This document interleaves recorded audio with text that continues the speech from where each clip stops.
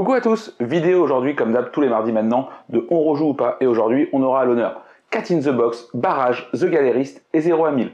Du coup on va vraiment du party game au gros jeu expert et on va passer en revue ensemble. Allez on est parti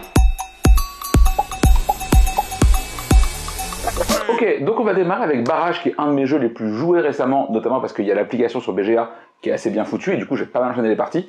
Et Barrage, alors oui, le jeu est toujours aussi punitif, on est toujours sur du gros jeu expert.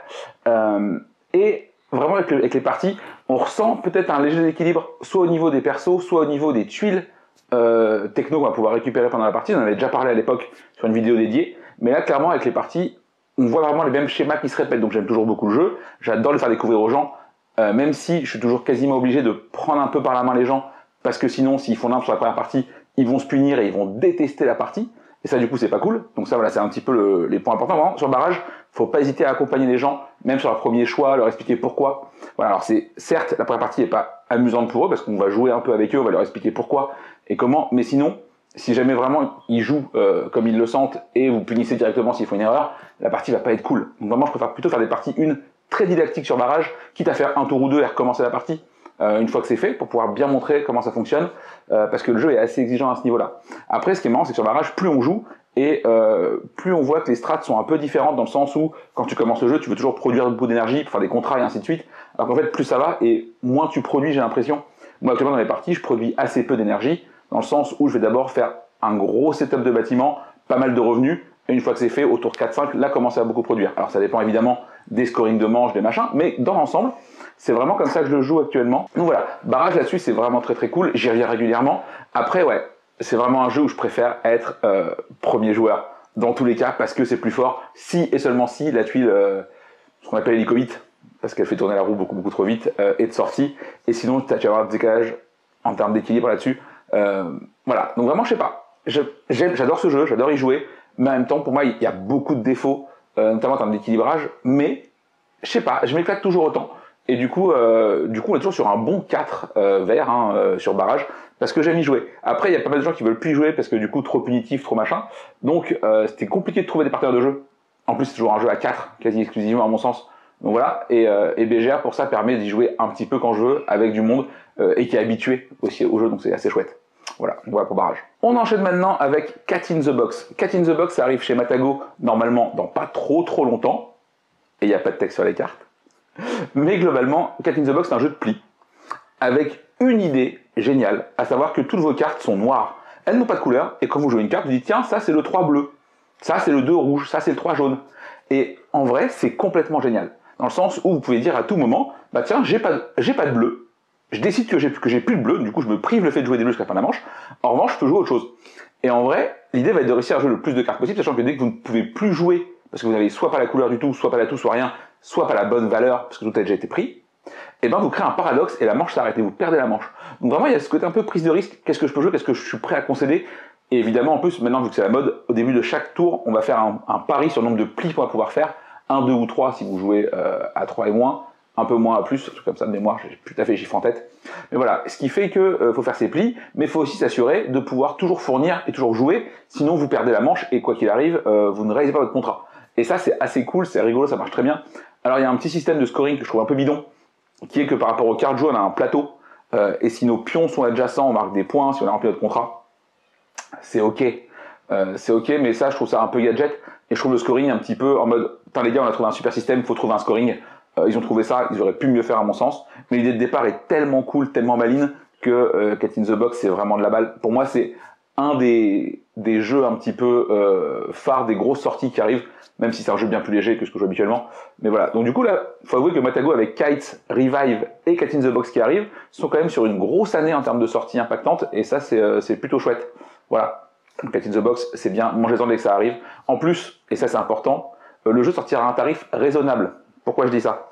C'est qu'en gros, ASN, Bézier Game a bien, euh, comment dire, Bézier tout le monde, hein, dans le sens où le jeu est annoncé à 25 balles avant SN et tu arrives sur place et là tu vois le, prix qui est recouvert par des feuilles blanches où ils mettent 40 euros en mode on sait qu'on va le vendre, on s'en va les couilles, euh, on vous allume et je trouvais ça pas très cool de leur part. Donc voilà, du coup retrouver le jeu en édition collector, en deluxe pardon, euh, à 25 balles, c'est le prix un petit peu annoncé, je crois entre 25 et 30, c'est vraiment très cool et euh, franchement si vous aimez les jeux de pli, allez-y.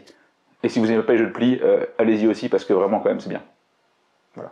On continue un petit peu sur les parties games avec un que j'ai découvert grâce à Boris euh, et Benja de la Bulle Ludique parce qu'on en a parlé pendant, un live sur les parties games. C'est alors à l'époque c'était 0 à 100 et du coup ils ont sorti 0 à 1000 chez Scorpion Masqué et ben franchement c'est juste trop bien. C'est un peu le jeu de culture G pour ceux qui n'en ont pas. Comment ça fonctionne? On va vous donner une réponse, genre 344. Euh, et il va falloir avec vos cartes en main qui sont du coup des questions, trouver la question dont la réponse est le plus proche possible de l'estimation. Je m'explique, est-ce que c'est le nombre d'élèves à Poudlard Est-ce que c'est le nombre de pattes parmi pattes Est-ce que c'est le nombre de vitres au Louvre euh, Voilà, et c'est vraiment un jeu où on va apprendre des choses parce que déjà, personne n'a la moindre putain d'idée des questions euh, et des réponses en question. Euh, en question. C'est beaucoup de questions dans la même phrase, un peu technique. Voilà. Mais au-delà de ça, c'est assez malin, ça marche bien. À l'apéro, c'est top. Euh, on est sur une boîte qui vaut 13 balles en petit format. Vraiment, c'est c'est du tout bon. L'édition est nickel. Moi, j'ai pas joué à 0 à 100 parce que vraiment au moment où j'ai découvert 0 est sorti la semaine d'après. Du coup, j'ai tout de suite joué à celui-là. c'est très très cool en, en petit jeu comme ça de questions-réponses rapide, facile à sortir. Euh, je crois qu'il marque 2 à 12 sur la boîte. Donc vraiment, vous pouvez jouer avec tout le monde, euh, tout public. Et, euh, et en vrai, les questions sont très chouettes. Donc ça, ça ne gâche rien. Donc voilà, 0 à 1000, vraiment, on est sur du, du tout petit jeu, tout petit, mais ultra efficace. Voilà, et ça, on aime bien. Très malin. Très très malin. D'ailleurs, j'ai pas noté Cat in the Box, parce que je suis, un, je suis un boulet, mais du coup, on est sur un bon 4, ça aussi. On en a fait pas mal. Ouais, je sais, je découpe la vidéo, elle est dégueulasse, mais bon. Euh, Cat in the Box, c'est 4. Et par contre, 0 à 1000, pour le coup, j'aime beaucoup, mais euh, c'est un 3 parce que je vais pas forcément y penser, sauf à l'apéro. Du coup, euh, c'est un 3 temps normal, 4 apéro. Un truc un peu comme ça. Je sais pas si ça compte comme note. Bon, on enchaîne maintenant. Ok, donc on finit maintenant avec le dernier party game de la liste, à savoir The Galerist de Vital Acerla, donc petit party game qui dure plusieurs heures, euh, où le but du jeu va être d'être le euh, galériste le plus cool du monde et de faire le plus de fric pendant la partie. Et pour ça, vous allez acheter des œuvres, faire monter des artistes, les promouvoir, revendre leurs œuvres, et voilà, le jeu est ultra thématique, ça c'est plutôt cool.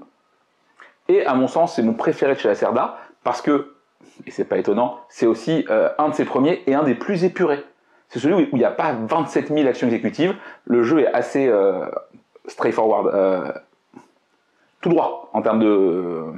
Vous savez ce qu'il faut faire, vous savez comment il faut le faire, il faut juste mieux le faire que les autres, globalement, c'est un petit peu ça. En plus, le jeu n'a que 4 dispositions d'action, et à chaque fois, vous avez un choix entre les options, ce qui fait que dans toute la partie, il n'y a que 8 actions euh, différentes.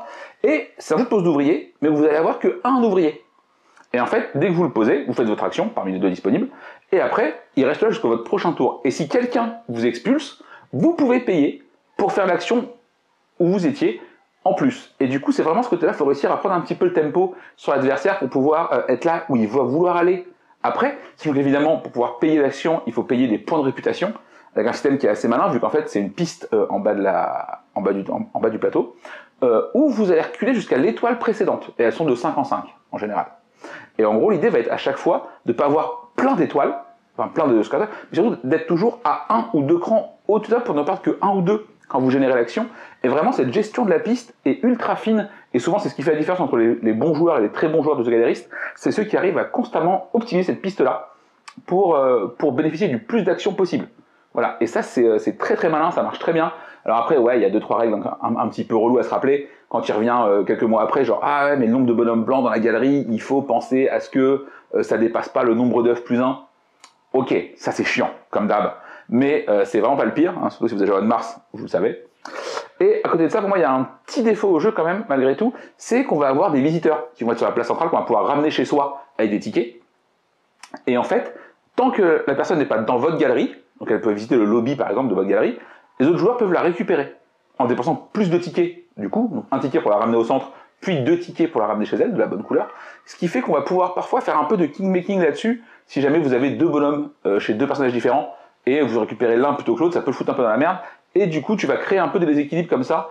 Euh, perso j'aurais préféré que ça n'y ait pas cette possibilité-là, parce que vraiment sur un jeu qui dure deux heures, euh, voire plus chez beaucoup de monde, euh, pouvoir se dire que je me fais ruiner ma, fin de partie parce que euh, il tape chez moi plutôt que chez l'autre, je trouve ça un peu dommage. Euh, alors oui, on peut se prémunir en gardant assez de tickets pour rappeler le mec s'il a besoin, mais quand même, tu vois, c'est vraiment du un élément de jeu où on aurait pu faire sans à mon sens, sans, sans dénaturer absolument le jeu, et, et ça c'est un poil dommage.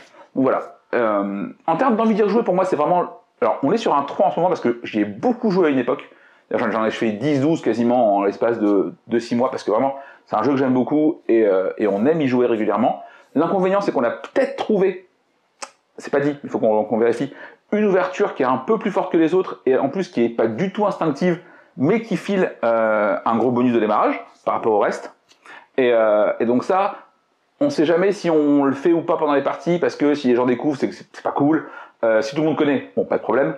Mais voilà. Et, et ouais, donc voilà, on est sur un 3 en meilleur joué. Après, voilà, j'ai beaucoup joué, mais clairement, je refuse jamais une partie parce que c'est cool. En revanche, euh, il marque euh, 1, je crois, sur la boîte, à 4. Pour moi, The Gallerist, c'est 4. Il n'y a pas de débat là-dessus. À 2, c'est nul. Et à 3, on est un peu trop loose, il y a un peu trop d'espace et on se fait pas assez chasser et c'est pas assez agréable, je trouve. Voilà, pour moi, Gallerist, c'est 4 et du coup, c'est un peu le défaut, entre guillemets, c'est que c'est un jeu qui marche, à mon sens, exclusivement dans cette configuration-là. Et en ce moment, à 4 only, j'ai envie de sortir du Brass, du projet Gaïa, de la Familia. Non, pas Ark Nova, vraiment pas, c'était une blague. Mais euh, voilà, et, euh, et, du coup, c'est ça. Donc, on en a donc 3. Et par moment, en fait, souvent, quand je le sors, c'est souvent par série et je vais en faire 2, 3, 4 dans le mois. Parce que, en l'entendant, je me dis, quand même, c'est quand même vraiment très cool. Puis après, il tombe un peu dans l'oubli, puis il revient 6-7 mois après. Voilà, donc c'est un jeu qui est vraiment cyclique chez moi, euh, The Gallerist. Enfin voilà, on arrive gentiment à la fin de cette vidéo. Je vous fais à tous de gros bisous. N'hésitez pas euh, à liker la page, à vous abonner, tout ça, tout ça. Euh, normalement, en fin de semaine, il y a une vidéo, on ne sait pas encore laquelle, qui arrive soit sur l'Arcana, soit sur les jeux coop, mais je pense que c'est l'Arcana. Euh, les jeux coop sera pour plus tard. Euh, et voilà, je vous fais des gros bisous, portez-vous bien, et puis euh, profitez du beau temps. Allez, ciao